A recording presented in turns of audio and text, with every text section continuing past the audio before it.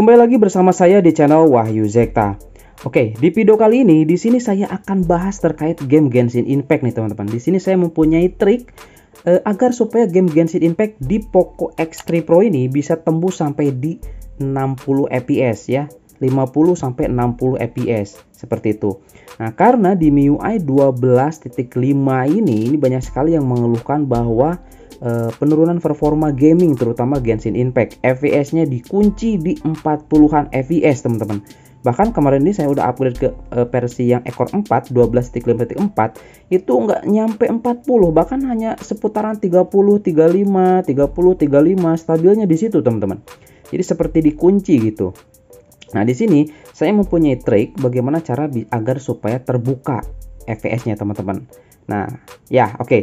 Nah, di sini nanti saya akan coba tes menggunakan fan cooler. Kenapa? Karena ketika saya coba tes tadi ya e, dengan cara ini seperti itu, HP-nya menjadi dua kali lipat lebih panas, teman-teman. Oke, sepertinya aplikasi ini atau aplikasi sistem ini yang nanti kita akan coba hentikan. Nah, itu e, merupakan sebuah limiter menurut saya ya seperti itu. Tapi nggak tahu nih fungsi jelasnya spesifiknya itu aplikasi itu untuk apa saya nggak tahu. Kalau yang tahu bisa komen di kolom komentar teman-teman. Oke di sini kita langsung saja masuk ke aplikasinya. Teman-teman langsung saja masuk ke pengaturan di sini. Nah selanjutnya teman-teman di sini cari APL nih. Nah APL ini klik.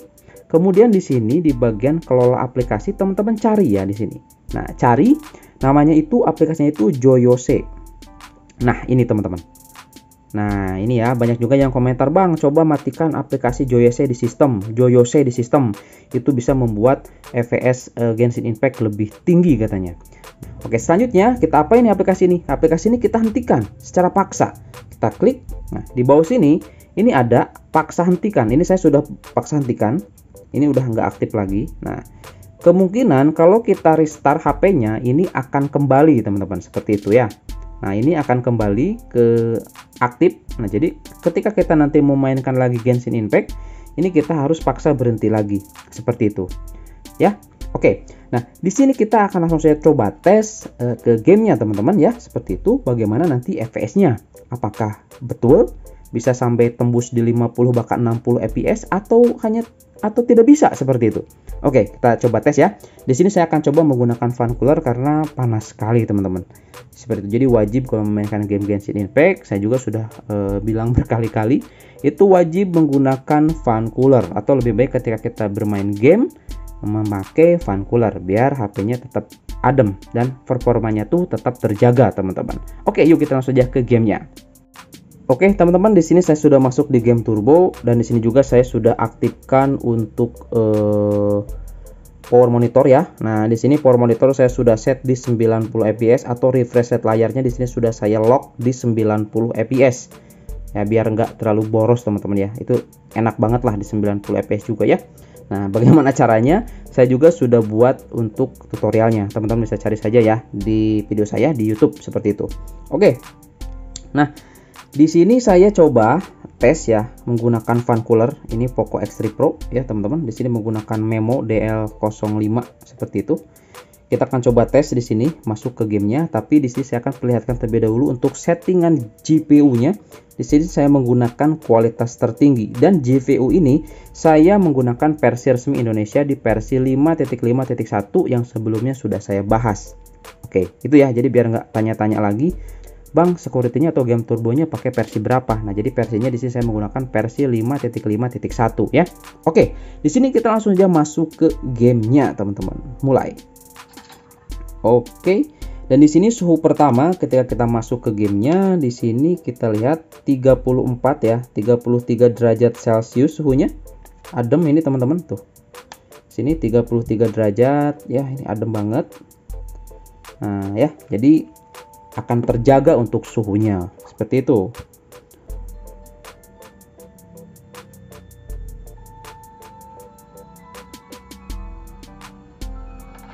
Oke teman-teman ya di sini. Kita langsung saja masuk nih ke gamenya. Kita lihat ya. Nah di sini saya masih menggunakan versi game turbo e, resmi Indonesia yang versi 5.5.1 teman-teman ya. Oke kita akan coba lihat di sini apakah betul untuk Genshin Impact bisa sampai di 60 fps di Poco X3 Pro. karena sebelumnya ya kita tahu setelah update ke MIUI 12.5 titik 1 ya. Kemudian titik 3 ada lagi titik 4 ini nggak sampai di 60 fps nah kita lihat di sini. Oke 58 61 bahkan tembus di sini teman-teman. Kita lihat ya. Nah ini dia saya zoom atau saya fokuskan dulu? Kelihatan nggak ya? Susah nih ya teman-teman. Sebentar sebentar. 44 50 tuh lihat. Wih mantep ini. Mantep banget. Asli. Berarti eh, apa? Tadi cara ini. Oke mantep. Berarti cara ini bekerja teman-teman ya. Ini lihat di sini tembus di 53 fps stabil di 50 fps untuk Poco X3 Pro teman-teman. Di Genshin Impact. Ini keren banget ya. Tuh 60 fps tuh. Bisa tembus 60 fps sebentar ini nggak kelihatan sih. Ya nah sini nih kelihatan nggak? Tuh. Susah banget ini untuk fokusnya ya. Tuh 57 tuh tuh 57 56 60 fps tuh lihat. Mantap ya. Oke kita coba lawan musuh aja di sini. Kita tes di bawah tuh ada musuh ya. Nah, ini mungkin ada turun sih ke 44 tapi nggak sampai drop ke 30 fps teman-teman ya. Ini stabil. Di sekitaran 40, 50 sampai 60 fps.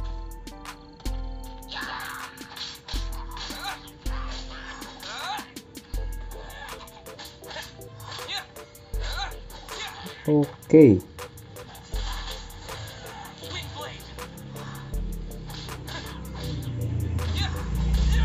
Oke, mantap ya. Ini stabil di lebih 40-50 fps teman-teman ini ya. Keren. Mantap ya. Uh. Genshin Impact di Poco X3 Pro ini akhirnya sudah bisa tembus oke okay, lebih dari 50 fps bahkan ada tadi beberapa kali di 60 fps. Nah ini sudah segini aja teman-teman ya. Kita coba main. Ini menggunakan fan cooler. Ini di bagian layar udah naik nih suhunya. Tuh udah 38 ya nah udah 38an daerah sini nih. Woi 40 bahkan sebelah sini nih. Ini cepet banget naiknya panasnya teman-teman ya makanya jadi di sini kalau misalkan teman-teman mau main lebih dari 50 fps itu harus menggunakan fan cooler nah seperti itu ya Nah, bolehlah dipraktekkan di sini ya. Oke. Di smartphone teman-teman ya, di device teman-teman seperti itu. Praktekkan untuk cara ini. Ini di Poco X3 Pro berhasil bisa tembus teman-teman seperti itu ya.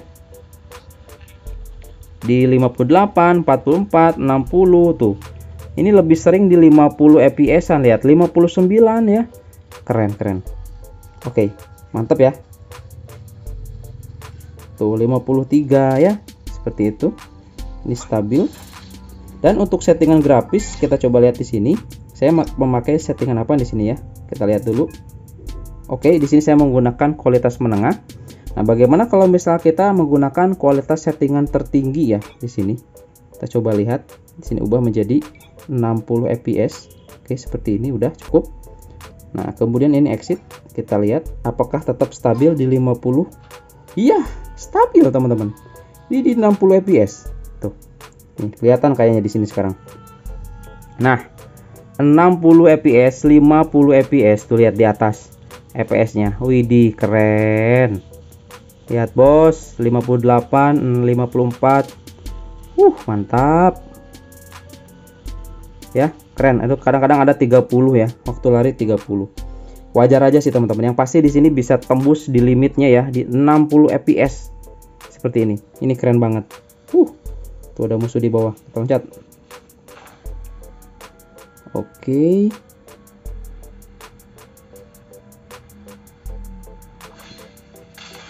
Nah, oke. Uh, mantap.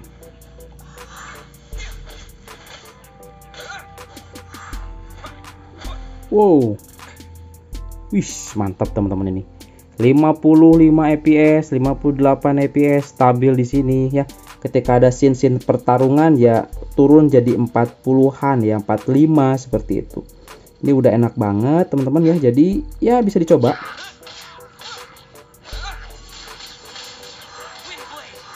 Uh, keren. Ya, 44, 39, 40, 50, 51 naik lagi, 58 naik lagi, 57 ya. Seperti itu teman-teman, kita lihat itu dia. Sip ya. Ini di Poco X3 Pro berjalan dengan baik atau bisa dipakai teman-teman trik ini. Oke, sekarang di sini kita akan coba di Poco X3 NFC. Bagaimana nih SOC 732G-nya? Kita akan coba menggunakan trik ini apakah bisa tembus sampai di 50-60 fps seperti itu di settingan lowless saja ya karena untuk di settingan highness pastinya gak bakalan recommended pastinya akan turun atau frame drop seperti itu. Kita akan coba di lowless saja di Poco X3 NFC memainkan game Genshin Impact. Seperti itu teman-teman ya. Oke Ya oke, teman-teman di sini sudah masuk di game turbonya dan di sini saya menggunakan Poco X3 NFC. Sudah terpasang fan cooler, power monitor juga sudah aktif. Oke, untuk settingan GPU di sini saya menggunakan settingan bawaan seperti ini, teman-teman ya. Oke, kita langsung saja masuk di sini ke gamenya. Oke, untuk game turbo di sini saya menggunakan versi bawaan di 5.4.2, teman-teman ya. Oke, untuk suhu pertama di sini kita coba lihat di 31 derajat ini adem banget 31 ya. Ini rata sebelah sini 31 30 derajat seperti itu teman-teman untuk suhu awal. Nah kita akan coba tes di sini. Kita lihat. Langsung masuk ya. Nah berapa fps nih yang didapat teman-temannya di Poco X3 NFC setelah menggunakan trik ini? Kita coba lihat ya.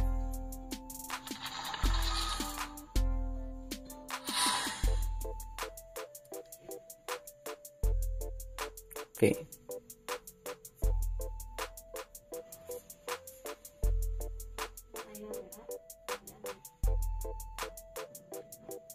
Ya oke teman-teman di sini kita coba lihat untuk uh, di Poco X NFC ya. Di sini tembus di 46 nggak sampai di 50 fps sayangnya nih teman-teman. Seperti itu. Kita coba lihat di sini di bagian setting di sini menggunakan settingannya itu di terendah. Oke, di sini setting di 60. Oke, udah ya, back. Back. Nah, di sini nggak bisa nembus sampai di 50 fps ternyata teman-teman untuk Poco X3 NFC ya. Di kisaran 45 uh, fps ternyata. Nah, kita akan coba di sini sepertinya ini untuk uh, aplikasi Joyose-nya otomatis aktif teman-teman. Kita akan coba lihat di sini ya. Ini kita back dulu. Nah, seperti ini. Kemudian kita ke bagian aplikasi di sini kita coba lihat setelan. Kemudian ke bagian tadi APL ya. Nah, selanjutnya di sini ke bagian kelola, kelola aplikasi Joyose.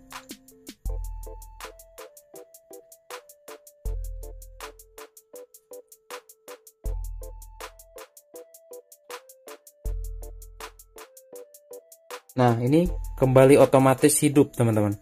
Seperti ini. Ya, kita coba matikan. Oke, ini sudah saya matikan. Sekarang balik lagi ke gamenya.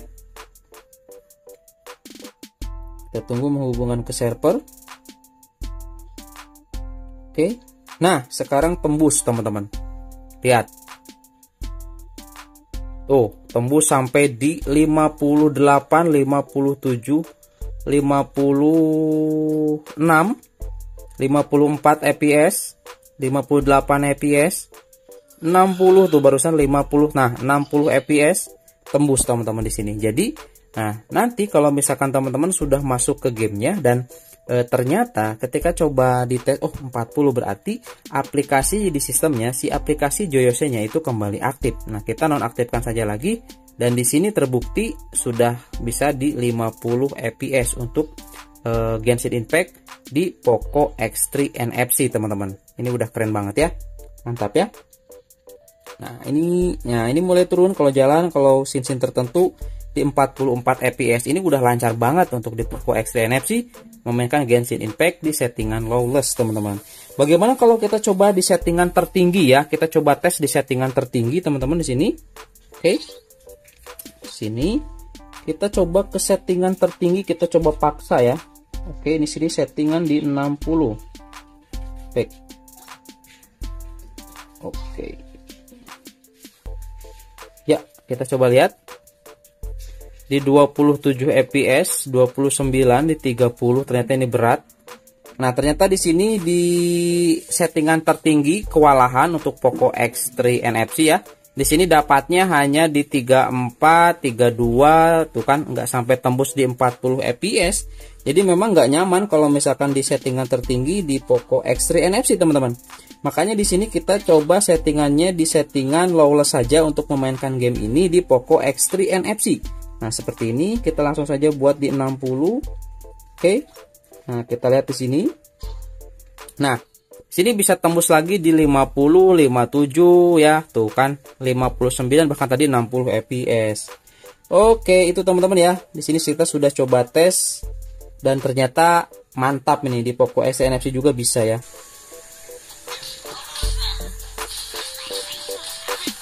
Nah, di sini, sini pertarungan di sini stabil ya di 30, 40 seperti itu. Dan ya ini kalau menurut saya udah cukup mantap gitu. Sesekali ada sih sampai di 20 ya 20 fps kalau misalkan scene berat seperti itu. Ya wajar saja teman-teman ya dengan e, performa e, SOC nya di 732G gitu. Untuk game ini memang berat sih gitu oke.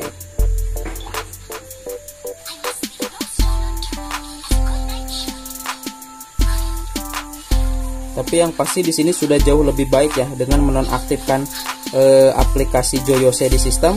Ini FPS-nya udah mulai meningkat teman-teman. Seperti itu ya jadi udah oke okay lah udah keren